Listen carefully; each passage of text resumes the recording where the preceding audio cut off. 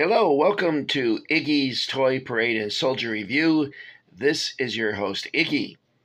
Yay. Thank you for that.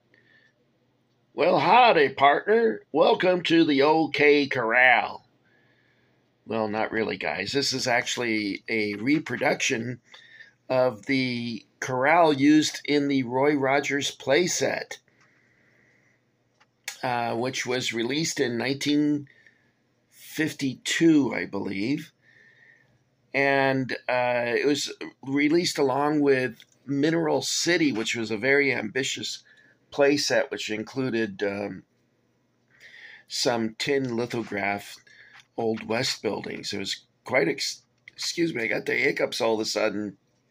Uh, quite an exciting uh, playset for the time, and still is, actually, if you think about it.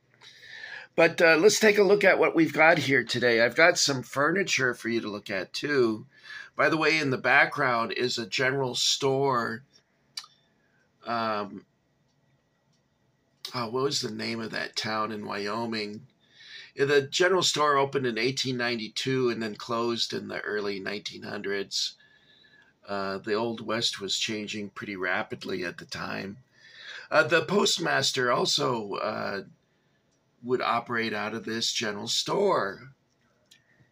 Which reminds me of the uh, postmaster at Calico, California. Uh, there was a canyon that he would have to go up uh, to deliver mail to some miners that were working up there. And he didn't feel good. So, what he did is he put a mail bag on his dog and sent his dog and his dog delivered the mail and they, they gave him treats and the dog came back and this became a routine. Uh, a couple of ruffians tried to waylay the dog and steal the mail. However the dog outsmarted them. That's pretty sad when you're outsmarted by a dog. Anyway the dog uh, took a different trail and went around them but I always thought that story was kind of cool that the dog was delivering mail like that. Very neat. Anyway, this furniture here is a reproduction of Marx furniture that they featured in their very first uh, rodeo playset and also in their Mineral City uh, playset. Now, I do have a section of fence. What I do with it? Oh, here it is here's what the corral fence looked like in the very earliest rodeo playset. It was like, oh, you know what? I need to turn on this light. Here we go. That's better. And this is what the fence looked like. You see it's a little different. Now, this fence here, in later versions of the corral, they would use this uh, only in white. But in this one, uh, you can see the boards are smooth, and they also use this in their farm play set. This fencing in their farm play set. Now, in the original, it would say on here Roy Rogers, and then it would say double R bar ranch along here. And double R bar refers to the branding iron that uh, they would have used at the Roy Rogers Ranch. I don't think Roy Rogers ever had a real ranch, though. Anyway, it refers to they would have an R like this, and then over here they would do another R, and then bar, bar. That's what they mean by double R bar ranch, and it refers to the branding iron. So, this is what the earliest rodeo playset uh, fence piece looked like. So let's show you what that looks like over here. Here's the very first rodeo playset. I actually have this cabin, an original of that, and I have a reproduction of this gateway and fence. And this is part of the fencing. I think I put the gateway into uh, storage, so I don't have it handy. Uh, I do have, you know what, guys? I do have the um, the bunkhouse. So let me stand up and show that to you, okay? Get a nice overview of the furniture. See that picture? I got that for a dollar. Can you imagine that? And here's the bunkhouse. I got a Rev War figure in the in the window there. Uh, my nephew bought that at a, a, a bar or saloon in New York City. So that's pretty cool. All right, so let's go back to here. So, uh, as you can see here, this also shows some of the furniture. Uh, I don't have any of these uh, bunk beds, but I do have these items here, and I'll come up here and, and show them to you.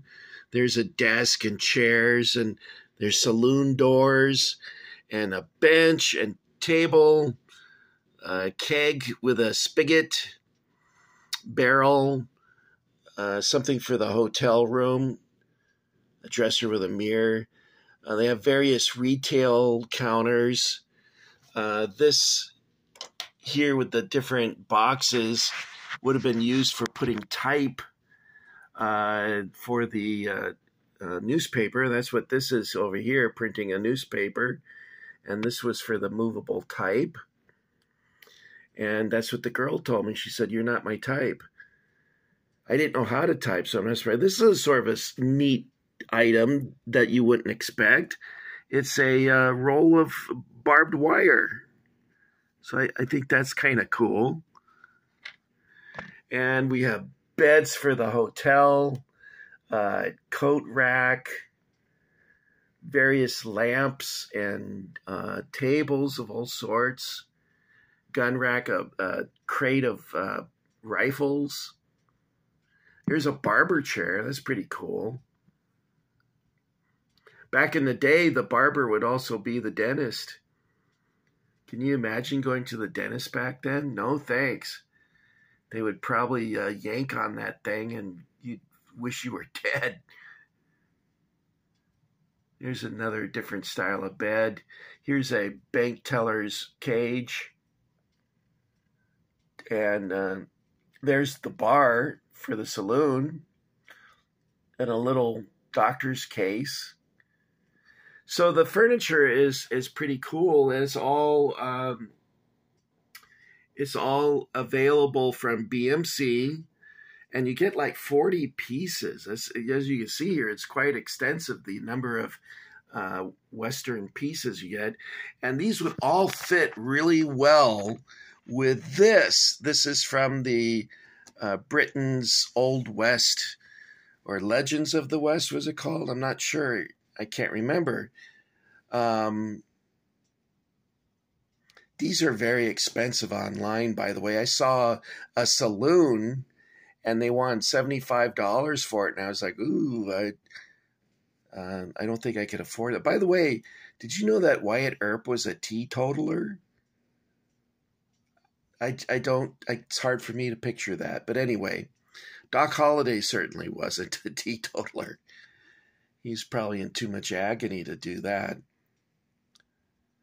Okay, uh, the saloon looks just like this, except see how this overhang here, it's actually straight and has a railing that goes around. And then, of course, it says uh, Saloon or Golden Nugget. I think it was called the Golden Nugget Saloon. Although later versions of this just said Saloon, I think. And over here, I have the Streets of Laredo um, radio, Streets of Radio. Hello and welcome to Iggy's Radio, where the hits just keep on coming. Uh, D. Speakerman is my friend Doug. I've known him for many years now, about 25, 26 years. And uh, he's a big guy, and he would make a great blacksmith. Uh, it's funny, uh, Doug is pretty peaceful guy, but man, when he gets mad, you better clear out. I remember once we were at a Civil War reenactment in Mississippi, and we decided to flank the Confederate column. So we went through the uh, the uh, brush that was overgrown on the side of the road that we were on, because we could hear the Confederates on the other side and I got stuck in the brush, and Doug just came up, and I yelled out, Doug, and I was like literally hanging in the air, stuck in this brush, and he grabbed me by the collar and just yanked me right out of there like I was a rag doll. Uh, Doug's a big guy. Don't mess with Doug. That's all I can say.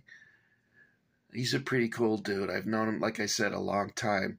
So, who are these cowboys I got in here? I decided to set up sort of a makeshift shootout at the OK Corral, which, by the way, this is misleading because the shootout was not in the OK Corral. It was near it, and it was on, I think, an alley called Allen Street. The shootout lasted like 30 seconds, which is funny because it looms so large in the history of uh, the Old West.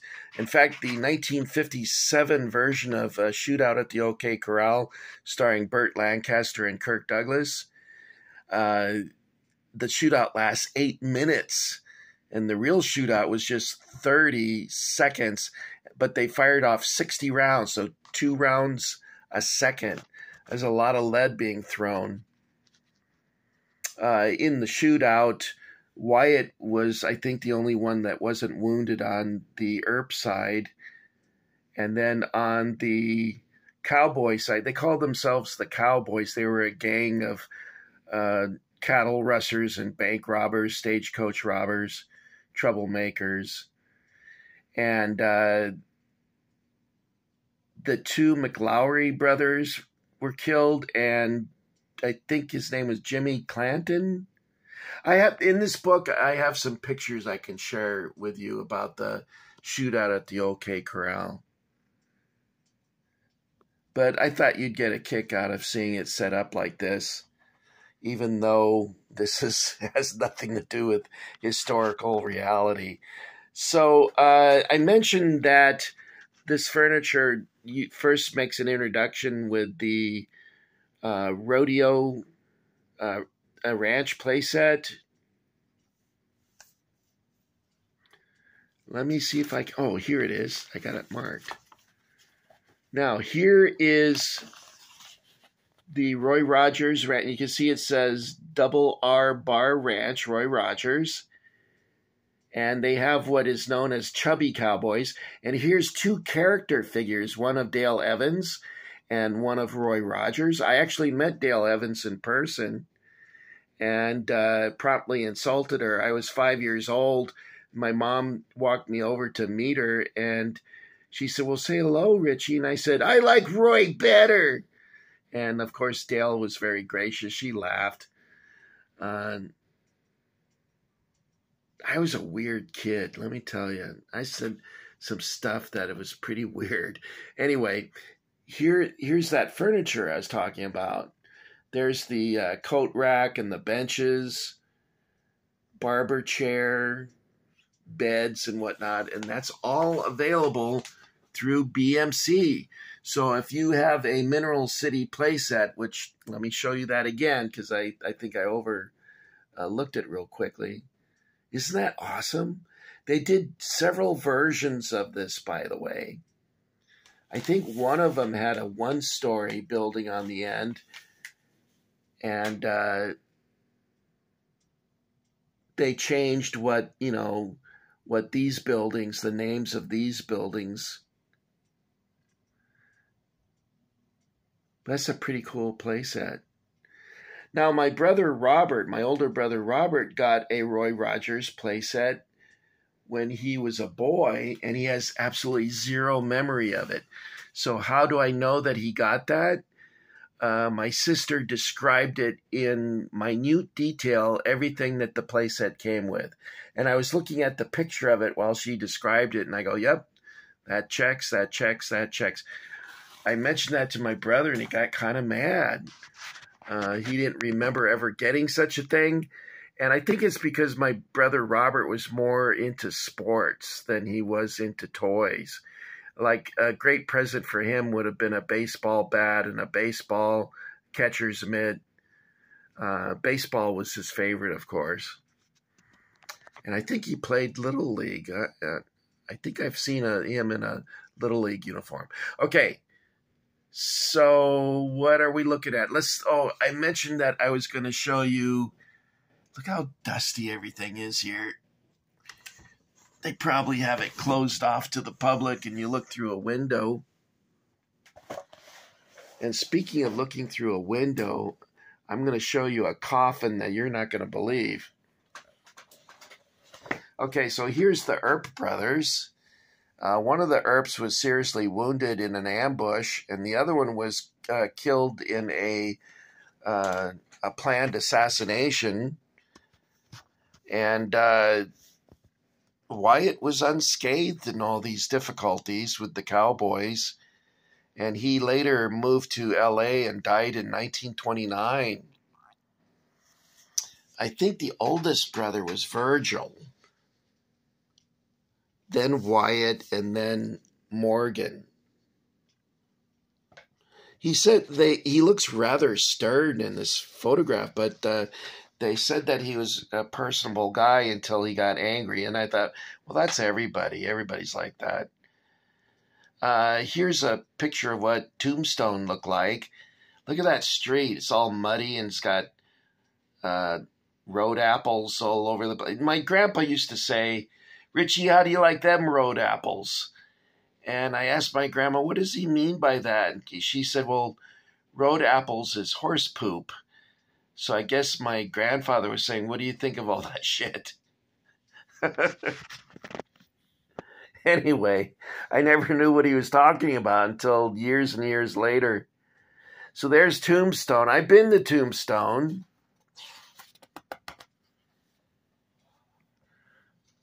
All right, let me see here. I want to show you. Okay, here we are. There's, I think, Boot Hill. And here's um,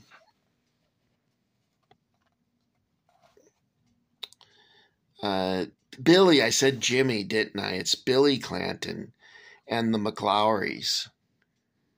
And uh, Ike Clanton uh, tried to get uh, murder charges pressed against um, Wyatt for the murder of his son, I guess it was.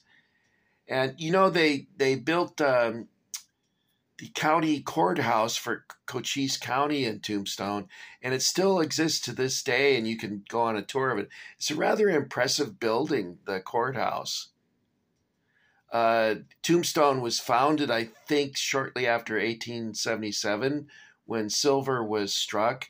And the brothers who found silver there, uh, they were told the only thing you're going to find there is a tombstone. So allegedly, that's how the town got its name. At one point, it had 10,000 residents.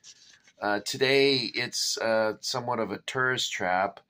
And the streets are loaded with tourists from Germany for some reason.